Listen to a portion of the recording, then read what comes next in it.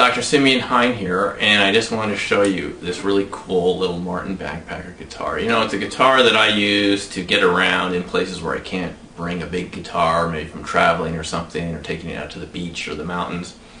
And what I really like about this little guitar and about acoustic guitars in general is they just always work.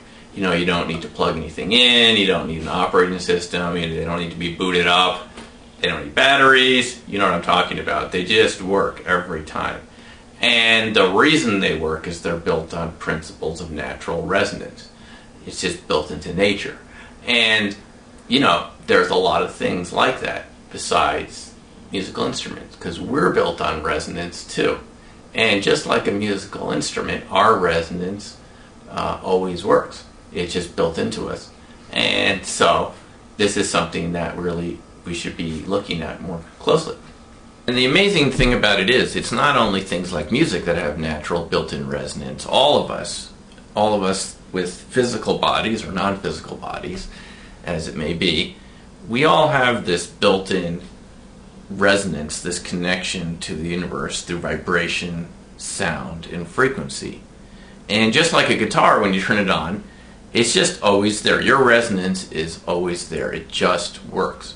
And that's the amazing thing about all these different resonant activities that we've been talking about over the past couple years. Remote viewing, crop circles, um, UFOs, extraterrestrials, uh, communications with spirits, things like this. They all have to do with the property of resonance, the ability of energy and information to move spontaneously from one area in the universe in the holographic field to another area uh, without any time delay, without any lag, it, the information just comes through because resonance is kind of the natural state of the universe. And just like we talked about in the previous video, part two, we were talking about why resonance works. It's because it's built into you. Today, I want to talk a little bit about how it works because this is really the interesting thing what do we really need to access our own resonance? Because I can tell you right now, some of the benefits of accessing your own internal resonance is just a spontaneous and natural feeling of abundance because you're connected to your natural self, to your energy, to your source of creativity. And when you're connected in that way, information and, and energy just naturally flow through you, and you just have this kind of natural inherent abundance. So the question today is how do we connect to that resonance? Well, here's how it really works. We're connected to that resonance all the time. And the only reason we don't experience it more directly is simply because we've had this conditioning from the uh, institutions and organizations and, and school systems and so forth that have you know done their best to try to help us throughout our lives, but they've also limited us to working with our left brain, the logical, analytical, rational, sort of systematic sort of thinking that we're all used to. And the resonant processes that I'm familiar with work through our own subconscious mind. In other words, they're always there, but they're very quiet voices. And this is the important point. The resonant signals, compared to the noisy talking monkey mind, are very quiet, they're very subtle, and they're very fleeting. They're transient. They come in and then they leave. And it's like that quiet little voice that you know sometimes talking to you kind of at the back of your head when you're making a decision, important decision about something, and it's saying, no, you really should be doing this. You know what I'm talking about. It's a very fleeting and very quiet signal, and you have to listen very hard to hear it.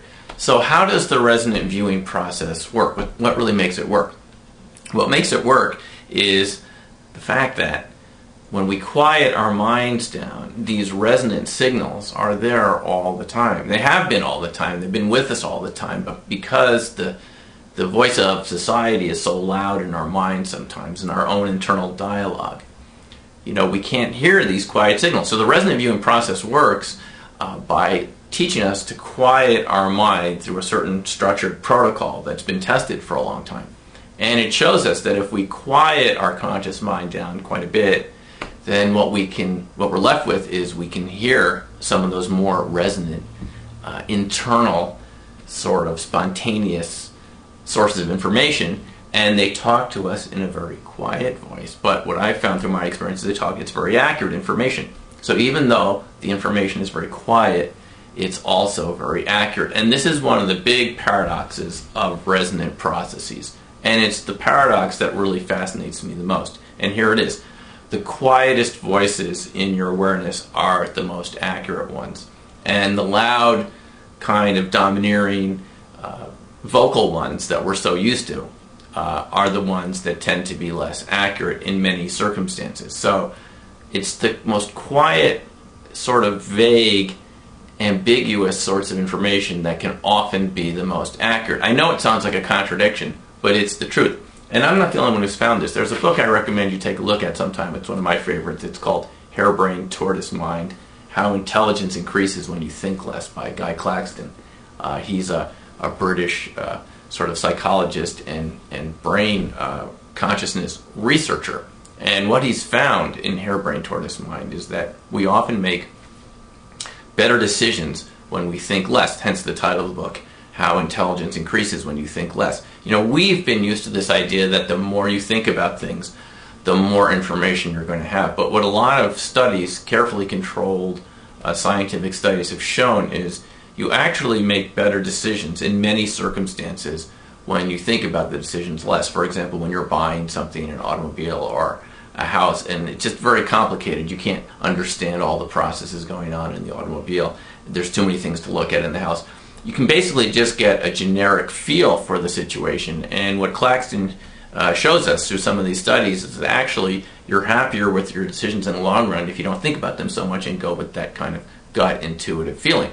And the reason for it is is because the subconscious mind actually deals much better with those sort of situations than the conscious mind. Why? Because it's processing lots of information all the time, but it's not telling you that it's doing it in an obvious way. It just shows you the end result, which is a certain feeling. And so resonant processes teach you to pay attention to these feelings because they're not just sort of uh, uh, baseless, sort of imaginary um, uh, notions and, and, and feelings, they're actually based on a whole computational process that your subconscious mind is going through that you're not aware of. That's what we call the subconscious mind. And when it reaches a feeling about a certain situation, person, place, something like that, it's going to give you a kind of an outcome just in a generic sort of feeling. And what uh, Claxton shows us is basically that these processes can be very accurate and you can, hey, surprise, surprise, trust your intuition.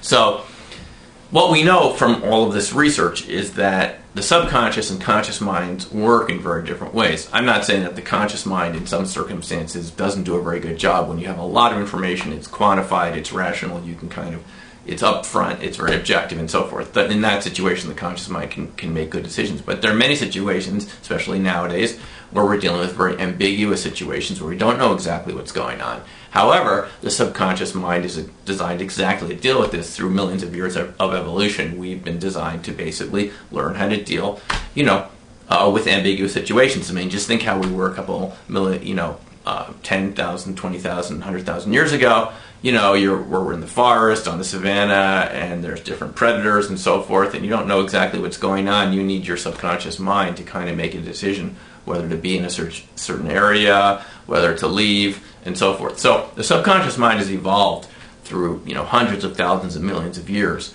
of evolution to kind of help us uh, reach decisions very quickly um, in situations where we don't have a, a complete amount of information.